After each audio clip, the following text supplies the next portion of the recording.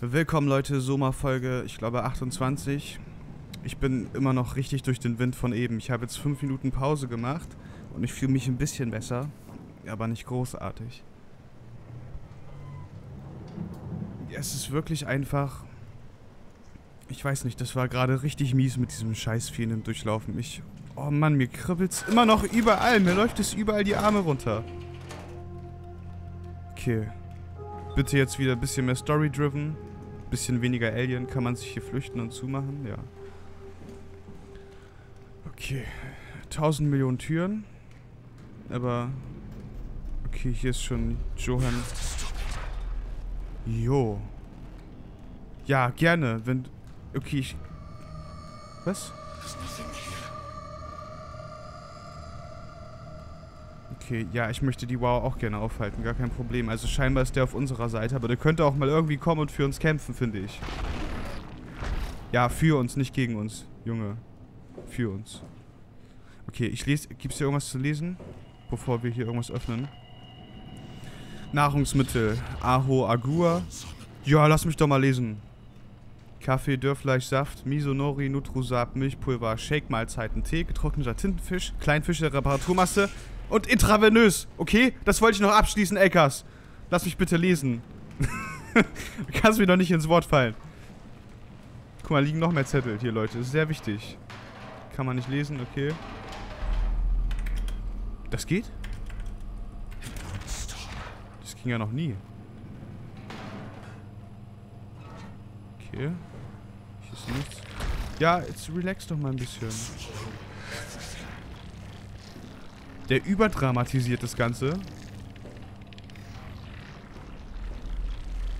Ja, gut, dann gehen wir erstmal ins Badezimmer. So. Bist du zufrieden, Elkas? Ich bin weitergegangen.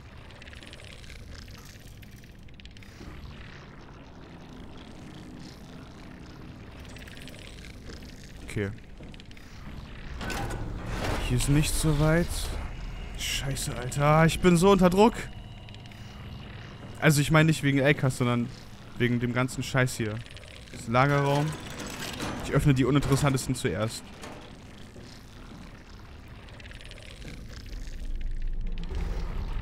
Okay, ist auch nichts.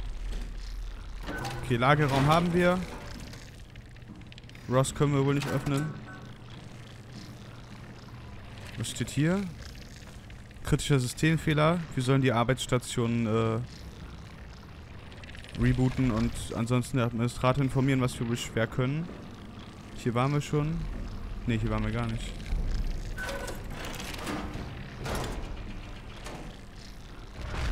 Geh, lass mich in Ruhe.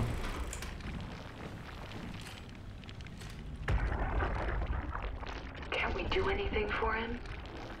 No, we're out of sedatives. If we had a gun, this would be the time to pull it out. Not expected to end like this. Should have jumped the climber back to Omicron. Without the Ark? Forget about the Ark. No, you don't get to say that. It's the only thing left of value, you know that. Yeah, yeah. Promise you won't leave it behind. We'll all be dead one day. Then what? We'll better keep it safe until then. Don't want the wow to take it, swallow it whole.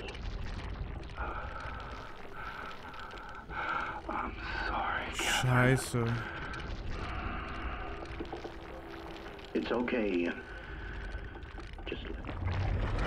Ups, ich habe aus Versehen beendet. Ist das die Catherine oder was? Ich dachte gerade, wir haben dieses, diesen Mülleimer da angesprochen, was das Ding da ist. Ähm, ich glaube nicht, dass er noch mehr kam, aber ich klicke das jetzt nicht nochmal an. Ist egal. Ich denke einfach, die haben sie jetzt in den Exodus geschickt. Und ja.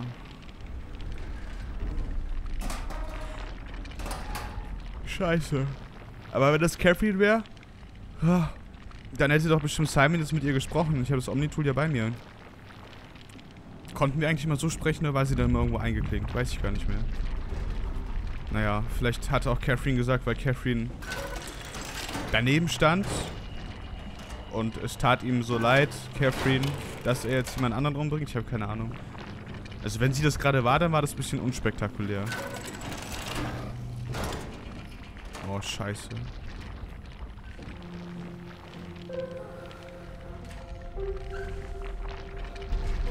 Fuck.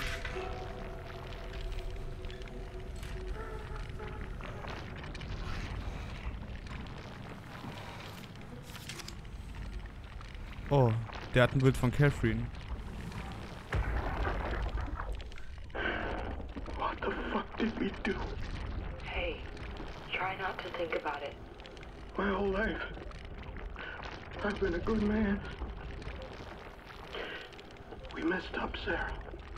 There, there.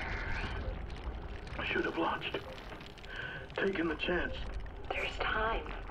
If Ashkin says we could try again, when things calm down. You gotta do it, you know. Ich habe schon wieder aus Versehen weggedrückt. Okay, ich starte es nochmal neu. Ich gucke einfach mal. What the fuck did we do? Hey, try not to think about it. My whole life. I've been a good man. We messed up, Sarah. There, there. I should have launched. Taken the chance. There's time. If Ashkin says we could try again, when things calm down. You gotta do it, you know. You got to.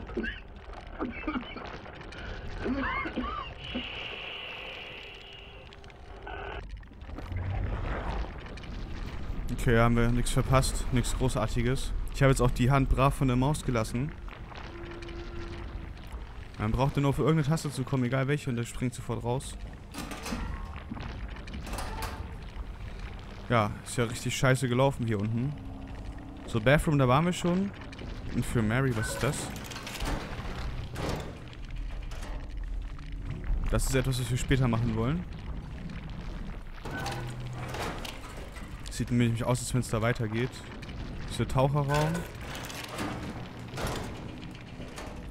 Auch das wollen wir später machen. Wir wollen nämlich erstmal gucken, was es hier so alles gibt.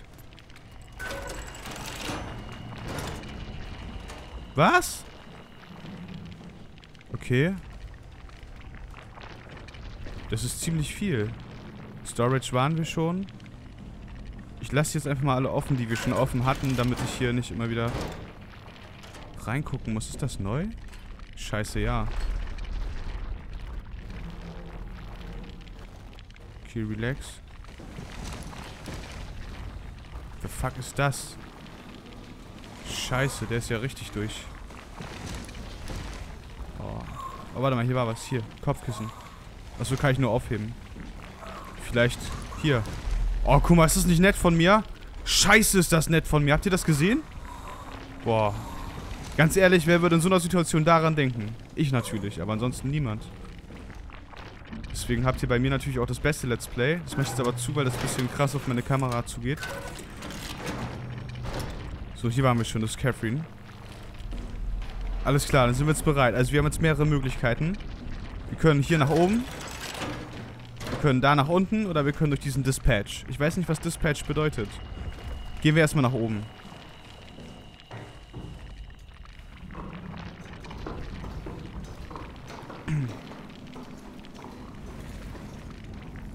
Okay, ist geschlossen. Gut, dann gehen wir wieder nach unten.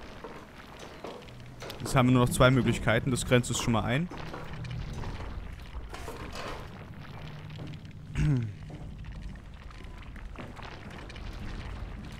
Dann gehen wir mal in den Dive Room. Was glitscht hier die ganze Zeit in meinen Ohren rum? Dieses Geräusch ist so eklig. Ah, ich will was sehen, dreh dich um. Okay, hier geht's scheinbar weiter.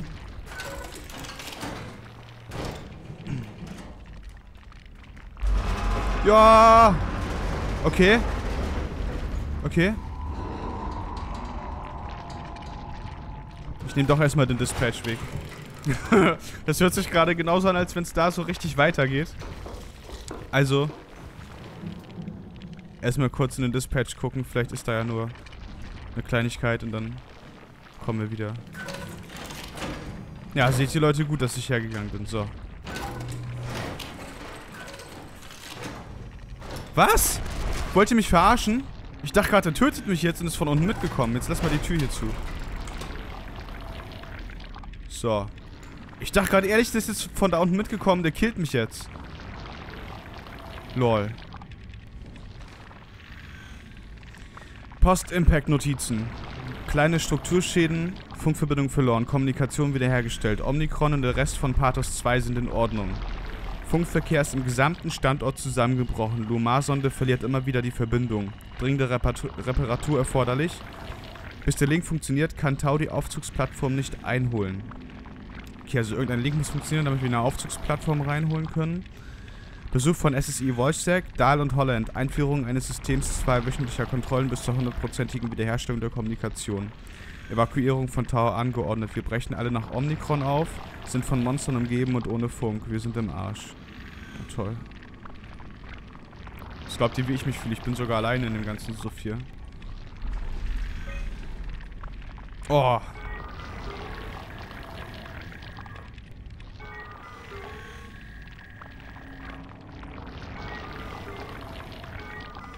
Ich ja alle offline. Brauche ich gar nicht anwählen, oder? Ups. Ach, hier kann man gar keine Füllung herstellen. Hallo. Achso, da auch nicht. Omega. Okay. Comlogs. Ausgehend Omnicron. Omnicron. Herber. Ah, der ruft jetzt die ganze Zeit an, oder was? Stopp mal. Tür für Riegelung. Ach, wie geil. Kabine A, Ross Johan, die können wir jetzt öffnen. Ah, brauchen wir einen Code. Wie soll ich den denn kennen? Was? Ach, der macht das für uns. Gut, dass ich einfach irgendwas gedrückt habe. Wie geil ist das denn? Dann ist das vielleicht der Typ. Johann Ross, der uns da hilft. Tunnelöffnung. Tunnelöffnung Pitau instabil. Viehbereich. Okay. Omega WK. Weltraumkanone. Gut. Wollten die sich ins Weltraum schießen? Ich erinnere mich da gar nicht mehr dran. Das war, glaube ich, der Plan, doch. Und dann sind die irgendwie in die vollkommen andere Richtung. Abgedriftet. Aber sich ins Weltall zu schießen, ist jetzt auch nicht so sicher. Okay, also wir können jetzt in Johan Ross Zimmer gehen.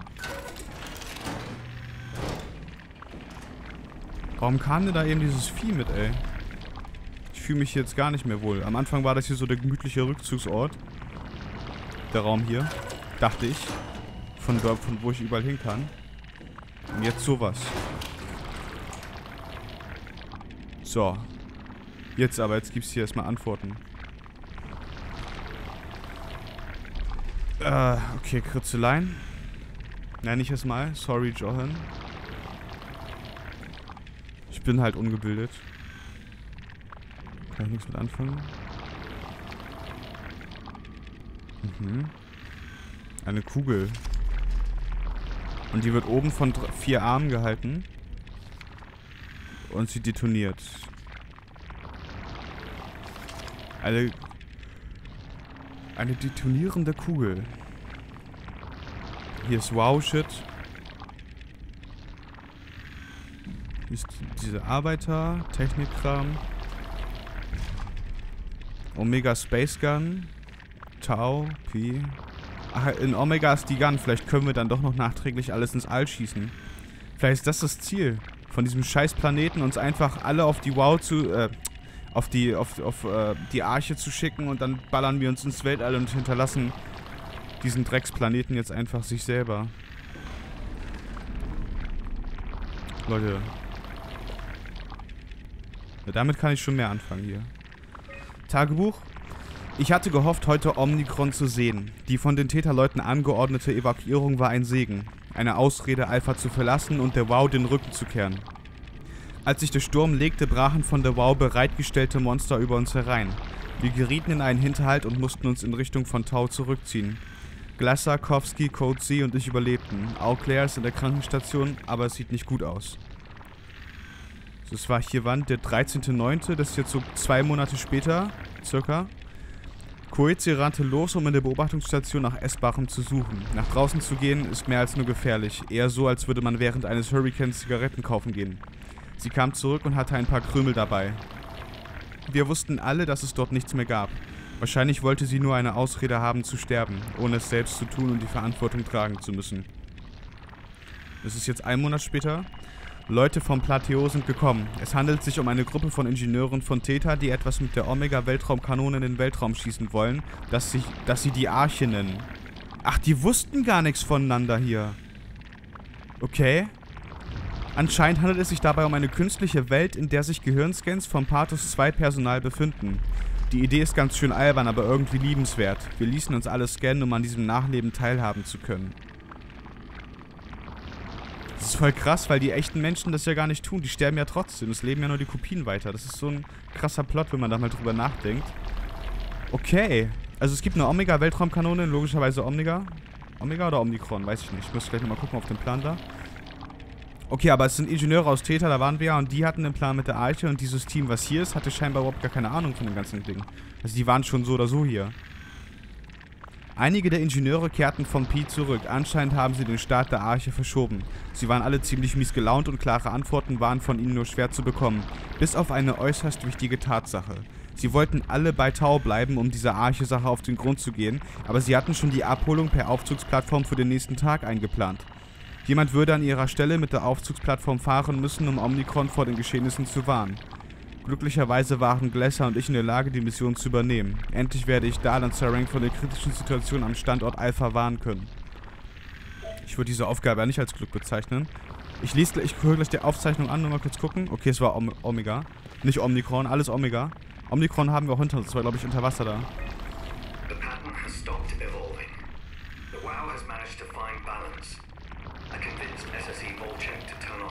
External control systems, making the WoW our de facto caretaker.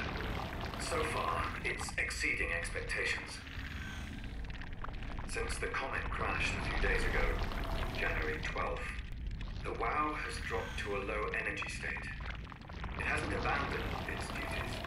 It's keeping climate and life support going, but it's been simplifying the pattern, redefining its protocol.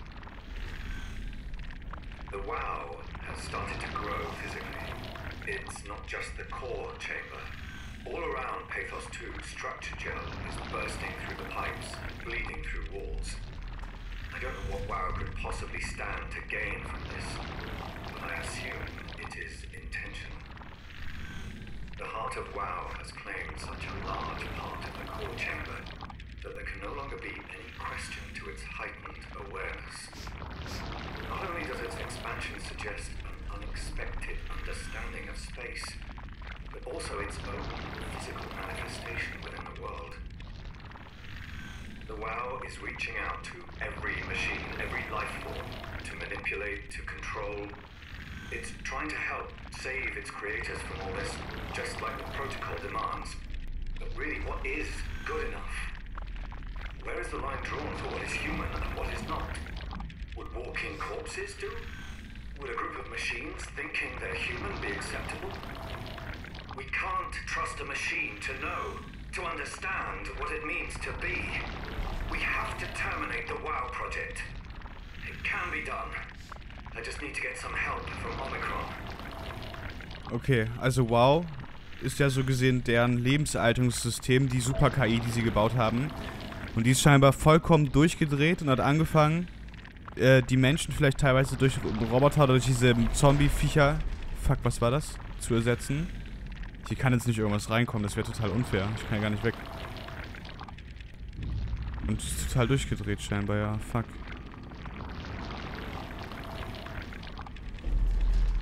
Leute, was ist, was sind das hier für Geräusche? Jetzt nicht, dass hier irgendwas im Raum ist, wenn ich die Tür aufmache. Das ist unmöglich. Also, wüsste gar nicht, wie ich hier rauskommen soll. Ich mach's mal. Sieht gut aus. Also rüber zum Dive Room.